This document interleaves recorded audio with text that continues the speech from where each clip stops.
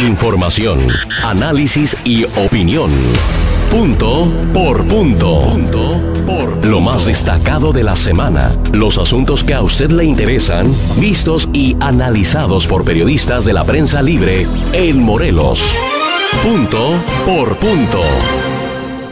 Buenas tardes, esta es la información más importante ocurrida en nuestro estado de Morelos.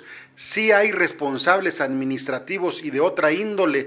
En el caso de la fosa clandestina de Tetelcingo, usted recuerda, ahí se depositaron cadáveres que no recibieron el trato legal adecuado. Hoy, al comparecer ante diputados, el fiscal Javier Pérez Durón reconoció lo siguiente. Edmundo Salgado, adelante, por favor. Punto por punto. Solo 8 de los 118 cadáveres encontrados en las fosas presuntamente clandestinas en Morelos no tienen asignada una carpeta de investigación y se encuentran en calidad de desconocidos, informó el titular de la Fiscalía General del Estado, Javier Pérez Durón, quien también precisó que ya se investigan probables irregularidades de funcionarios por este tema.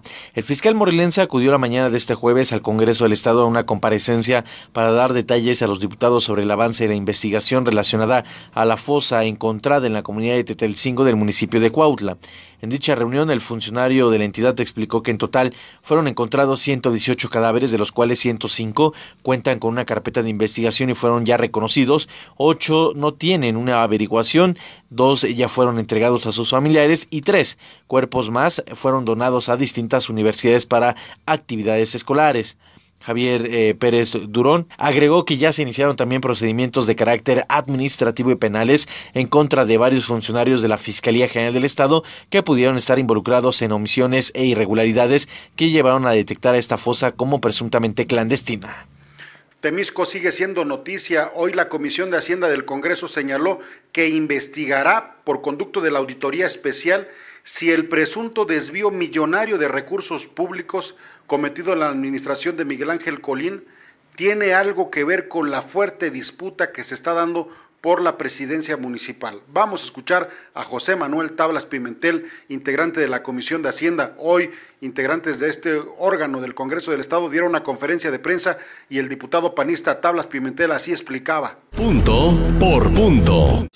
De la administración entrante eh, que obedece prácticamente a la preocupación porque no se han entregado los estados financieros que guarda el municipio de Temisco.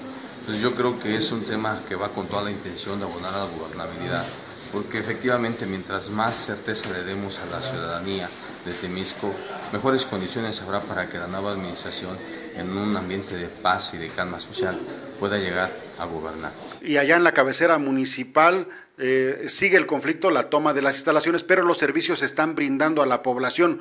Vamos a escuchar nuevamente a Edmundo Salgado. Punto por punto. A casi 48 horas de haber iniciado el plantón en el ayuntamiento de Temisco, simpatizantes de Juanita Ocampo, madre de la alcaldesa asesinada Gisela Mota, continúan con la toma de las instalaciones, por lo que autoridades municipales buscarán por la vía del diálogo la liberación del inmueble.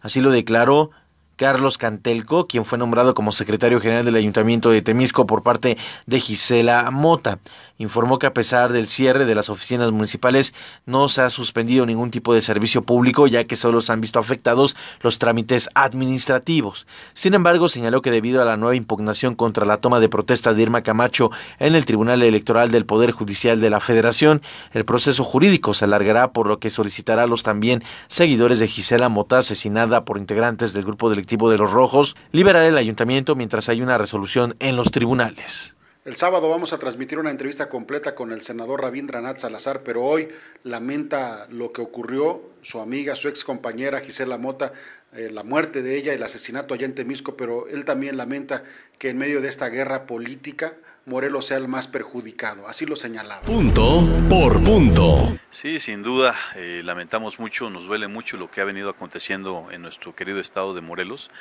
y este artero asesinato. Eh, en contra de nuestra compañera Gisela Mota, pues algo que lastima sin duda toda la sociedad morelense.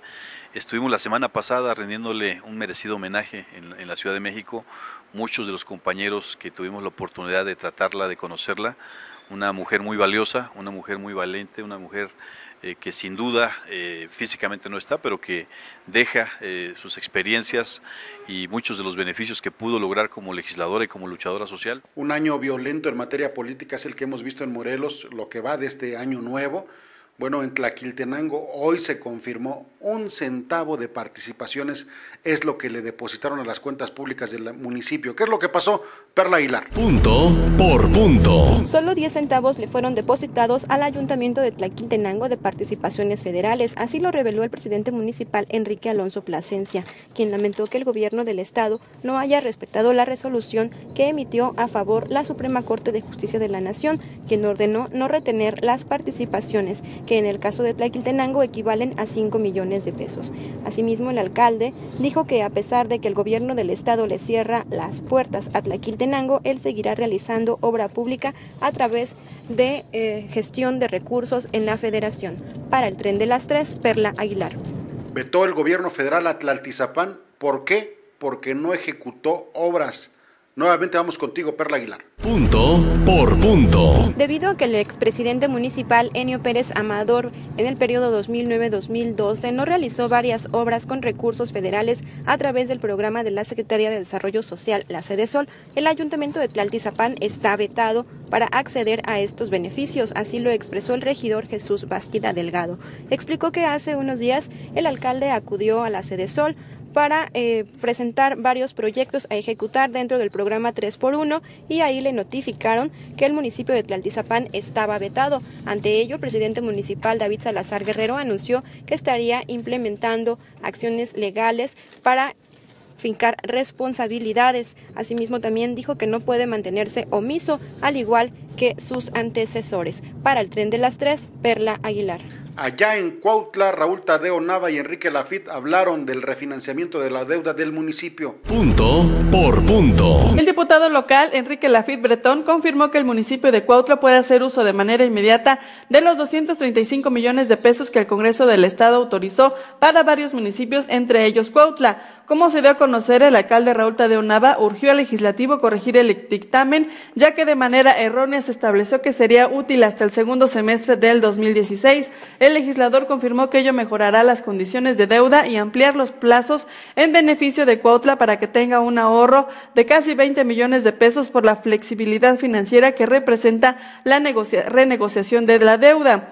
El alcalde, por su parte, precisó que se buscará que solo se utilice el 28% de las participaciones pero que al consolidar la deuda en un solo fideicomiso, regresarán a Cuautla de fondos de reserva casi 6 millones de pesos que pueden servir de par y paso o coparticipación. Gracias, Dulce Valdepeña. En Cuernavaca, aquí en el Congreso, eh, la bancada panista estrena coordinador Carlos Alanís. Lo que ya se esperaba fue destituida Norma Alicia Popoca de la anterior corriente política que dominaba el PAN.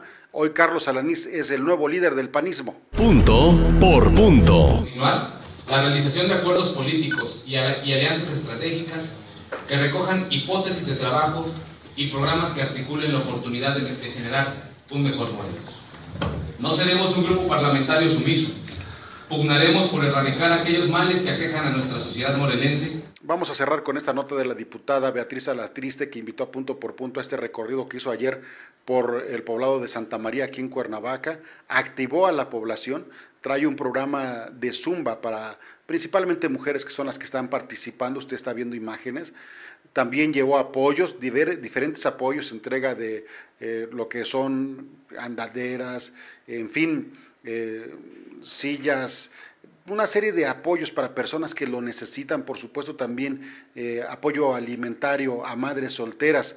Vete a la triste ahí en Santa María, usted está viendo las imágenes, platicó. Hubo la mayoría mujeres, eh, Beatriz Alatriste pues es una líder surgida de la organización de mujeres priistas, tiene mucho vínculo con ese sector de la población, pero también hubo hombres que también recibieron apoyos. Desafortunadamente no vimos a nadie en la suma, pero bueno, eh, finalmente Beatriz Alatriste en entrevista nos hablaba de cómo está recorriendo las colonias, las comunidades de Cuernavaca, que tienen mucha necesidad y cómo ella desde el Congreso del Estado está respaldándoles. Punto por punto. Así es, como decíamos en la entrevista que me hiciste favor de hacerme, aquí no hay otra varita mágica más que regresar a las calles regresar con la gente y poder poner un granito de arena a las necesidades de ellos. En este caso yo tengo un programa que es solventado por tu servidora, que es de despensas a madres solteras. Cada mes se les entrega una despensa de manera puntual. Es todo por hoy. Muchas gracias. En nombre de Javier Pineda y el propio Andrés Lagunas, los invito a que siga en Punto por Punto TV, en Twitter, en Facebook, en nuestras redes sociales y por supuesto sábado y domingo 8 de la noche, canal 153 de cable. Gracias. Buen provecho. Información, análisis y opinión.